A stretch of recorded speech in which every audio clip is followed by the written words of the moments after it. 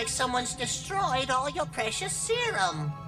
When I'm done tearing you apart! Uh-uh. A stupid, useless robot like me might accidentally drop your last vial. Become my old friend. We're both on the same side. Humans!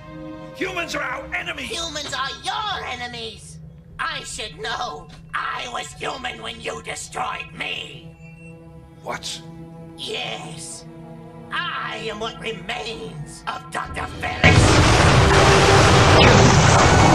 You thought you destroyed me when you destroyed my laboratory. Well, you almost did, but I survived. I was injured beyond hope, barely alive. With my fast, there was only one way I knew to survive. I wouldn't have made it had I remained in my human form, so I rebuilt myself using the technology I had pioneered.